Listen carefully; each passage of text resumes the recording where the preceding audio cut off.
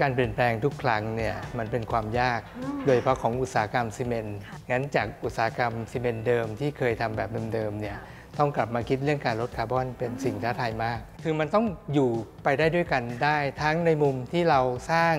โลกที่ดีขึ้น ลดการปล่อยคาร์บอน และธุรกิจก็ต้องเติบโตได้ พอเราพูดถึงการผลิต low carbon cement เนี่ยหลักคิดคร่าวๆ ก็คือลดการใช้ปูนเม็ดลง และใช้วัสดุอื่นเข้าไปทดแทน ที่ช่วยลดการปล่อยคาร์บอน การเปลี่ยนแปลงเนี่ยมันมี 3 เรื่องที่เราต้องทำนะครับหนึ่งก็คือเรื่องของ raw materials หรือว่าวัสดุ เราก็ต้องหาว่าวัสดุอะไรที่จะมาทดแทนคลิงเกอร์ได้ หรือปูนเม็ดได้ อันที่ 2 เรื่องเทคโนโลยี อยู่ๆเปลี่ยนไม่ได้ ต้องใส่เงินเข้าไป เพื่อปรับปรุงสภาพแวดล้อมเครื่องจักรการทำงาน สิ่งที่ 3 ก็คือเราจะต้องใส่พวก ingredients นะครับหรือสูตรปรุงต่างๆ เพื่อให้คุณภาพสินค้าเนี่ย มันยังคงความ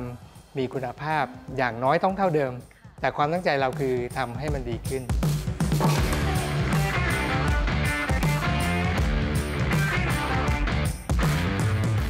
เป้าหมายของอุตสาหกรรมซีเมนต์ก็คือต้องพยายามลดการปล่อยคาร์บอนให้มากที่สุด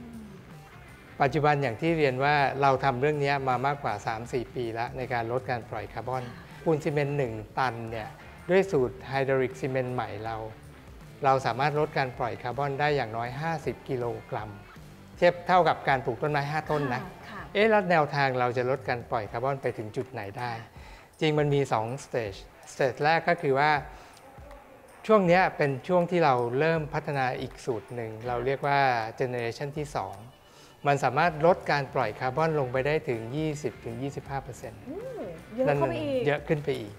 เป้าหมายเราสุดท้ายในตามรถแมพค่ะของธุรกิจเนี่ยเราต้องลงไปให้ถึง 50%ทีนี้คำถามคือแล้วมันจะเป็นศูนย์ได้ไหมอ๋อคือการที่จะไปสู่ net zero หรือเป็นศูนย์ได้เนี่ยมันต้องลงทุนเทคโนโลยีเพิ่มเติม ที่เราเรียกว่า CCUS ค่ะก็คือ Carbon Capture Utilization and Storage ความหมายคือว่าต้องลงทุนเครื่องดักจับคาร์บอนค่ะเอามาเก็บ แล้วหาทางที่จะใช้คาร์บอนที่เก็บได้ค่ะ ไปสร้างเป็นธุรกิจใหม่เป็นอย่างอื่นอ่าใหม่เป็นพลังงานหรือเอามาใช่ใช้เวียนอะไรก็แล้วๆแต่ใช่มันสามารถกลับมาใช้สอยใช้ได้ต่อได้หมดใช่เลย อันนี้ก็เป็นแนวทางที่ทาง CGS เราค่ะพยายามที่จะมุ่งผลักดันได้มากขึ้น